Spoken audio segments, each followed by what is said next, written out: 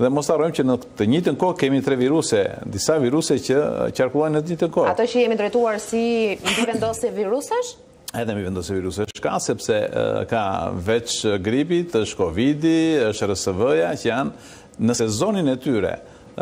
Ndoshta Covid-i akoma s'ka ikur të zhduket fare, Por e kemi thënë që në fillimet që mund të shndërrohet si një grip tjetër, pra në sezonet dimërore do të shfaqet me gjithë arsenalin e vet siç shfaqet dhe dhe gripi. Tek situata që ju prekët pak më parë, sepse gjithmonë përqendrohemi tek Tirana dhe normal që Tirana është 40% e popullsisë së Shqipërisë.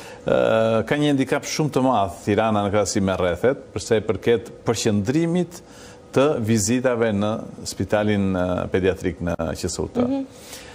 Nuk e kuptoj, sepse janë dhe 4 qendra shëndetësore që janë me një shërbim 24 orësh në Tiranë të po. paktën, me pediatër, ku familjarët mund të shkojnë me fëmijët e tyre që t'i vizitojnë.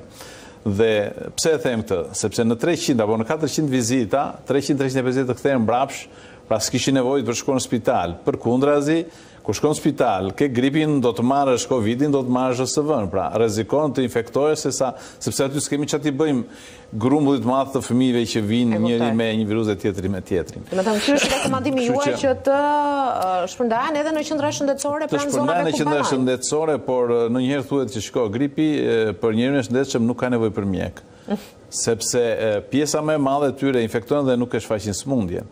Dhe personi që është infektuar nuk shfaq sëmundjen dhe fillon të të infektojë edhe gjatë periudhës që nuk shfaq simptomatologji, se e bartë atë. E dyta, është një nga viruset më rezistente për sa i përket ambientit të jashtëm.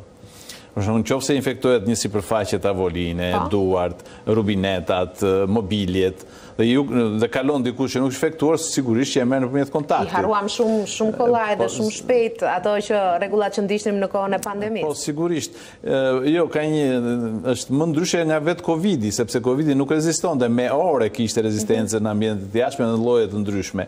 Ndërsa virusi i gripit, që ka mbi 100 vjet, është përshtatur më mirë që të mbijetojë, si çdo gjallesë tjetër. Kështu që, këto duhet t'i kenë parasysh, edhe fëmija i vogël, që është me temperaturë, që kush është kujdesi i nënës dhe i njerëzve. Fëmijën ta mbash sa më afër, dhe sigurisht, Qoftë se është infektuar, do të infektohesh. Po. Pra, larja e duarve, ajrosja e ambienteve, sepse përqendrimi i virusit brenda një ambienti të mbyllur, sigurisht, që ndikon. Temperaturat, kur mbahen më shumë se 22 gradë në banesë, sigurisht që ndikon temperatura... Dhe kontakt më pas me ambientin e jashtëm të ftohtë. E nisa pak më parë, zoti Brataj, se ne e themi vit pas viti që grip si ky, kaq i fortë si ky, kaq i rëndë si ky, kaq i gjatë sa ky, Nuk kemi parë më më përpara. Po mos ndoshta ne imunitetin tani e kemi pas tre viteve pandemi, pas dy viteve të shkuara pandemi, shumë më të dobët dhe ndoshta mund të na gjunjëzojë edhe një grip i thjeshtë apo jo, nuk nuk është jo, kjo. Jo, nuk ka lidhje sepse numrat janë ato. Për shembull Italia tani ishte 6.7 milionë njerëz të prekur nga gripi. Ëh. Mm 37.5% janë të diagnostikuara me grip, 9.2% ishin Covid, dhe shtatë pikë tetë diçka e tillë ishin RSV. Kështu që siç po vijnë nga vendet e tjera, sigurisht që do të kalojnë dhe këtu përqindjet nga Covid në favor të gripit. Në aktualisht. Aktualisht me sa dëgjova dhe doktor Ulqinakun dje, është akoma që predominon gripi. Jo, Covidi. Covidi, tek ne. Po. Kështu që faza e këtyre ditëve tregon që ne në 5 ditë e para Kishim rreth pesëqind raste për sa i përket rasteve infektive, temperatura, të cilat si me thënë konvergojnë tek shkaku viral i stinës, që do të thotë ka një numër të rritur.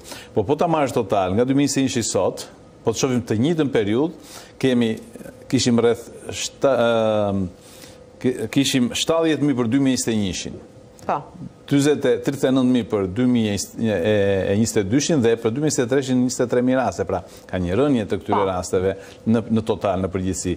Po ta marrësh pastaj me periudhën aktuale të të themi të muajit janar, në qoftë se në dy mijë e njëzet e njëshin ishin tetë mijë e treqind, Në dy mijë e njëzet e një ishin dhjetë mijë e njëzet e shtatë, ndërsa në dy mijë e njëzet e tre ishin, siç thashë, jemi tek një mijë e shtatëqind e pesëdhjetë e nëntë, po janë ditët e para të...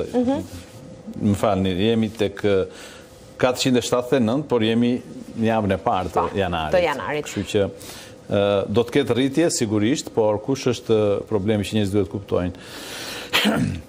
Dy kategori. Njeriu i shëndetshëm zakonisht nuk krijon komplikanca. Personat me sëmundje bashkëshoqëruese e kanë një ekuilibër shumë të dobët, thyhet shumë kollaj dhe çfarëdo lloj virusi, qoftë gripi, kovidi apo një RSV, mund ta skuilibrojë atë, t'i shkaktojë një reaktivizim të sëmundjes që ka, sidomos sëmundjet pulmonare. Dhe sigurisht ata duhet të jenë më të kujdesshëm, ata duhet të jenë të parë që duhet të vaksinohen me vaksinën e gripit dhe në qoftë se persistojnë, nuk është e thënë që e kapi gripi dhe duhet të shkojë me se s'bën në spital.